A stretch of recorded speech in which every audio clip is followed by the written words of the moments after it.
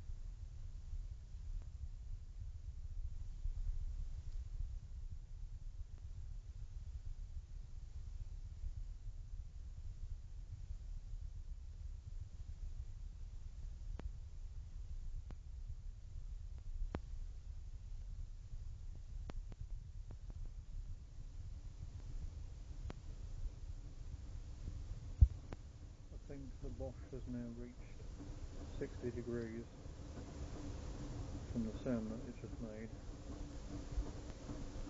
It May not be noticeable on the video, but I heard it certainly.